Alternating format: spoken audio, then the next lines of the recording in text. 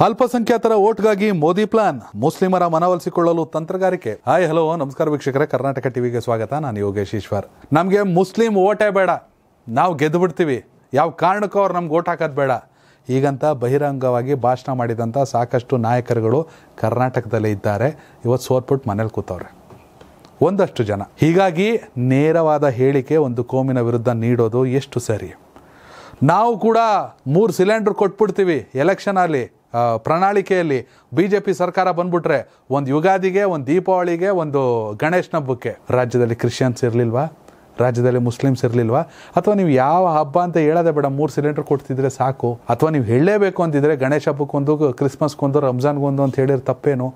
ಇದನ್ನು B J ಪಿಯಲ್ಲಿ ಸೋತಿರುವ ಒಂದಷ್ಟು ಬಿ ಜೆ ಪಿಯ ನಾಯಕರುಗಳೇ ಹೇಳಿದ್ದಾರೆ. ಸಬ್ಕೆ ಸಾಥ್, ಸಬ್ಕಾ ವಿಕಾಸ್ ಅಂತ ಹೇಳುವಂಥ ಪ್ರಧಾನಿ ನರೇಂದ್ರ ಮೋದಿ ಅವರು ಕರ್ನಾಟಕದ ಇನ್ನೂರ ಇಪ್ಪತ್ನಾಲ್ಕು ವಿಧಾನಸಭಾ ಕ್ಷೇತ್ರಗಳಲ್ಲಿ ಒಬ್ಬನೇ ಒಬ್ಬ ಮುಸ್ಲಿಂ ನಾಯಕನಿಗೆ ಟಿಕೆಟನ್ನು ಕೊಡಲಿಲ್ಲ, ಒಬ್ಬನೇ ಒಬ್ಬ ಕ್ರಿಶ್ಚಿಯನ್ ನಾಯಕನಿಗೆ ಟಿಕೆಟನ್ನು ಕೊಡಲಿಲ್ಲ.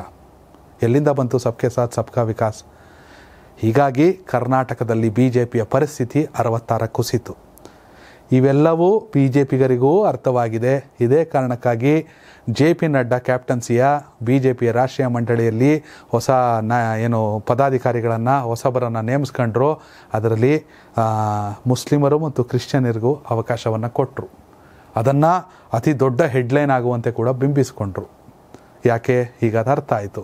ಇದೀಗ ಇಂಥದ್ದೇ ಒಂದು ಹೊಸ ಅಸ್ತ್ರವನ್ನು ಪ್ರಯೋಗಿಸೋಕ್ಕೆ ಪ್ರಧಾನಿ ನರೇಂದ್ರ ಮೋದಿ ಅವರು ಸಜ್ಜಾಗಿದ್ದಾರೆ ಅನ್ನೋ ಮಾಹಿತಿ. ಹೀಗಾಗಿ ಎನ್ ಡಿ ಎನ ಪಶ್ಚಿಮ ಬಂಗಾಳ ಆಗಿರ್ಬೋದು, ಒಡಿಶಾ ಆಗಿರ್ಬೋದು, ಹಾಗೆ ಜಾರ್ಖಂಡ್ನ ಕೆಲವು ಬಿ ಜೆ ಪಿ ನೇತೃತ್ವದ ಎನ್ ಡಿ ಎ ಸಂಸದರ ಸಭೆಯಲ್ಲಿ ಪ್ರಧಾನಿ ನರೇಂದ್ರ ಮೋದಿಯವರು ಒಂದು ಹೊಸ ದಾಳವನ್ನು ಬಿಟ್ಟಿದ್ದಾರೆ. ಆ ದಾಳದ ಮೂಲಕ ಅಲ್ಪಸಂಖ್ಯಾತರನ್ನು ಅಥವಾ ಮುಸ್ಲಿಮರನ್ನು, ಮುಸ್ಲಿಂ ಮಹಿಳೆಯರನ್ನು ಲೋಕಸಭಾ ಚುನಾವಣೆಯಲ್ಲಿ ಬಿ ಜೆ ಪಿಗೆ ವೋಟ್ ಹಾಕಿಸುವಂತೆ ಮಾಡೋ ಪ್ರಯತ್ನ. ಅದೇ ತಲಾಕ್ ಬ್ರಹ್ಮಾಸ್ತ್ರ. ಏನಪ್ಪ ಇದು? ತಲಾಕು ಎಲೆಕ್ಷನ್ಗೂ ಏನು ಸಂಬಂಧ? ಎನ್ ಡಿ ಎ ಸರ್ಕಾರದ ಅವಧಿಯಲ್ಲಿ ಅಷ್ಟಕ್ಕೂ ನರೇಂದ್ರ ಮೋದಿಯವರು ಪ್ರಧಾನಿಯಾಗದಂಥ ಸಂದರ್ಭದಲ್ಲಿ ಎರಡು ಸಾವಿರದ ಹತ್ತೊಂಬತ್ತರ ವೇಳೆಯಲ್ಲಿ ತ್ರಿವಳಿ ತಲಾಖ್ ನಿಷೇಧಿಸಲು ಕ್ರಮವನ್ನು ಕೈಗೊಂಡಿತ್ತು ಸರ್ಕಾರ. ಮುಸ್ಲಿಂ ಮಹಿಳೆಯರ ವಿವಾಹದ ಹಕ್ಕುಗಳ ರಕ್ಷಣೆ ಮಸೂದೆಯನ್ನು ಎರಡು ಸಾವಿರದ ಹತ್ತೊಂಬತ್ತರಲ್ಲಿ ಅಂಗೀಕರಿಸಲಾಗಿತ್ತು. ಹೀಗೆ ತ್ವರಿತ ತ್ರಿವಳಿ ತಲಾಖ್ ಅಭ್ಯಾಸವನ್ನು ಕಾನೂನು ಬಾಹಿರ ಎಂದು ಘೋಷಿಸುವ ಮೂಲಕ ಪತಿಗೆ ಜೈಲು ಶಿಕ್ಷೆ ವಿಧಿಸುವ ಅವಕಾಶವನ್ನು ಕೂಡ ನೀಡಲಾಗಿತ್ತು. ಈ ಅಸ್ತ್ರವನ್ನು ಹಿಡಿದು ಮುಂಬರುವ ಲೋಕಸಭಾ ಚುನಾವಣೆಯಲ್ಲಿ ಗೇಮ್ ಪ್ಲಾನ್ ಅನ್ನು ರೂಪಿಸಿದೆ ಬಿಜೆಪಿ. ಖುದ್ದು ಪ್ರಧಾನಿಯವರೇ ಈ ಪ್ರಯೋಗಕ್ಕೆ ಮುಂದಾಗಿದ್ದಾರೆ ಅಂತ ಹೇಳಲಾಗ್ತಾ ಇದೆ. ಅಂದರೆ ತ್ರಿವಳಿ ತಲಾಖ್ ಅಂದಿದ ತಕ್ಷಣ ಡಿವೋರ್ಸ್, ತಲಾಖ್ ಅಂದಿದ ತಕ್ಷಣ ಡಿವೋರ್ಸ್. ಇದು ಮಹಿಳೆಯರ ಹಕ್ಕುಗಳ ರಕ್ಷಣೆ ಎಲ್ಲಿದೆ? ಹೀಗಾಗಿ ಸಂಸತ್ನಲ್ಲಿ ತ್ರಿವಾಳಿ ತಲಾಖ್ ನಿಷೇಧಿಸುವ ಕ್ರಮವನ್ನು ಕೈಗೊಂಡಿತ್ತು ಬಿ ಜೆ ಪಿ ಸರ್ಕಾರ. ಅಲ್ಲಿಗೆ ಮುಸ್ಲಿಂ ಮಹಿಳೆಯರ ಪರವಾಗಿ ನಾವಿದ್ದೀವಿ.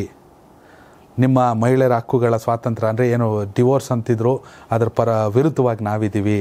ಹೀಗಾಗಿ ನೀವೆಲ್ಲ ನಮ್ಗೆ ಓಟ್ ಹಾಕಬೇಕು ಅನ್ನೋದನ್ನು ಪ್ರತಿ ಮುಸ್ಲಿಂ ಮಹಿಳೆಯರಿಗೆ ತಲುಪಿಸ್ಬೇಕು ಅನ್ನೋ ಪ್ಲ್ಯಾನ್ ಈ ಪ್ಲ್ಯಾನ್ ಎಷ್ಟರ ಮಟ್ಟಿಗೆ ವರ್ಕೌಟ್ ಆಗುತ್ತೆ? ಈ ಪ್ಲ್ಯಾನ್ ಎಷ್ಟರ ಮಟ್ಟಿಗೆ? ಯಾಕೆಂದರೆ ಕರ್ನಾಟಕ ಚುನಾವಣೆಯಲ್ಲಿನ ಗಮನಿಸಿದರೆ ಬಿ ಜೆ ಪಿ ಮಾಡದೇ ಇರೋ ಪ್ರಯತ್ನ ಇಲ್ಲ.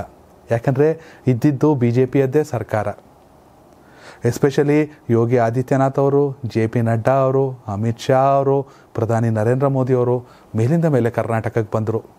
ಮೇಲಿಂದ ಮೇಲೆ ರೋಡ್ ಶೋಗಳು ಸಭೆಗಳು ರ್ಯಾಲಿಗಳನ್ನು ಮಾಡಿದ್ರು. ಜನ ರಿವರ್ಸ್ ಹೊಡೆದ್ರು. ಪ್ರಧಾನಿ ಮೋದಿಯವರು ಒಂದೇ ಒಂದು ಮಾತನ್ನು ಹೇಳ್ತಾ ಇದ್ದಿದ್ದು, ಪ್ರತಿ ತಮ್ಮ ಭಾಷಣದ ಕೊನೆಯಲ್ಲಿ ಈ ಬಾರಿಯ ನಿರ್ಧಾರ ಬಹುಮತದ ಸರ್ಕಾರ ಅಂತ. ಪ್ರತಿಯೊಬ್ಬರಲ್ಲೂ ವಾಗ್ದಾನ ತಗೋತಿದ್ರು.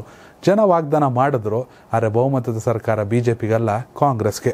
ಹೀಗಾಗಿ ಒಂದಷ್ಟು ರಾಜ್ಯಗಳ, ಅಂದರೆ ಎನ್ ಡಿ ಎ ಸಂಸದರ ಸಭೆಯಲ್ಲಿ ಪ್ರಧಾನಿಯವರು ಮಾತಾಡ್ತಾ, ಮುಸ್ಲಿಂ ಮಹಿಳೆಯರ ಸುರಕ್ಷತೆಯ ಪ್ರತಿಜ್ಞೆಯನ್ನು ಹೆಚ್ಚಿಸಿದೆ.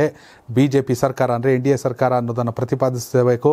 ಹೀಗಾಗಿ ತಲಾಖ್ ವಿಚಾರವನ್ನು ಮುಂಬರುವ ರಕ್ಷಾಬಂಧನ ಸಮಯದಲ್ಲಿ ಫಲಾನುಭವಿಗಳಿಗೆ ತಲುಪಿಸುವ ಸಲಹೆಯನ್ನು ನೀಡಿದ್ದಾರೆ ಅಂತ ಹೇಳಲಾಗಿದೆ. ಈ ಮೂಲಕ ಮುಸ್ಲಿಂ ಮಹಿಳೆಯರಿಗಾಗಿ ತಮ್ಮ ಸರ್ಕಾರ ಸುಧಾರಣಾ ಕ್ರಮಗಳನ್ನು ಮಾಡಿದೆ. ಆಗ ಹಂಗಾಗ್ಬಿಟ್ಟು ನೀವೆಲ್ಲ ನಮ್ಗೆ ಓಟ್ ಹಾಕಬೇಕು ಅಂತ ಅದನ್ನು ಜನರಿಗೆ ಮುಟ್ಟಿಸೋ ಕೆಲಸವನ್ನು ಮಾಡಬೇಕು ಅಂತ ಪ್ರಧಾನಿ ನರೇಂದ್ರ ಮೋದಿ ಅವರು ಹೇಳಿದ್ದಾರೆ. ವೀಕ್ಷಕರ ನಿಮ್ಮ ಪ್ರಕಾರ ಬಿ ಜೆ ಪಿಯ ಸ್ಟ್ರಾಟಜಿ ವರ್ಕೌಟ್ ಆಗುತ್ತಾ? ನಿಮ್ಮ ಅಭಿಪ್ರಾಯನ ಕಾಮೆಂಟ್ ಮಾಡಿ.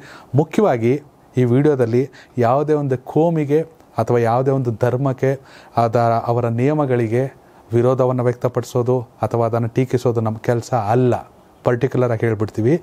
ಇದು ಕೇಂದ್ರ ಸರ್ಕಾರದ ಎಸ್ಪೆಷಲಿ ಪ್ರಧಾನಿ ನರೇಂದ್ರ ಮೋದಿಯವರ ಹೊಸ ಅಸ್ತ್ರ ಚ ಲೋಕಸಭಾ ಚುನಾವಣೆಗಾಗಿ ಅನ್ನೋದು ನಡೆಯುತ್ತಿರುವಂಥ ಚರ್ಚೆ. ಯಾಕೆಂದರೆ ಎರಡು ಸಾವಿರದ ಹತ್ತೊಂಬತ್ತರಲ್ಲಿ ಸಂಸತ್ನಲ್ಲಿ ಮಸೂದೆಯನ್ನು ಮಂಡಿಸಿದ್ರು ಅದರ ವಿರುದ್ಧವಾಗಿ ಹೀಗಾಗಿ ನಾವು ನಿಮ್ಮ ಪರವಾಗಿದ್ದೀವಿ ಅನ್ನೋದನ್ನು ಬಿಂಬಿಸೋದಷ್ಟೇ ಬಿ ಜೆ ಪಿಯ ಕೆಲಸ.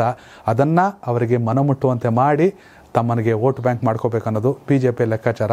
ಇದು ಎಷ್ಟರ ಮಟ್ಟಿಗೆ ವರ್ಕೌಟ್ ಆಗುತ್ತೆ ನಿಮ್ಮ ಅಭಿಪ್ರಾಯನ ಕಾಮೆಂಟ್ ಮಾಡಿ. ಧನ್ಯವಾದಗಳು.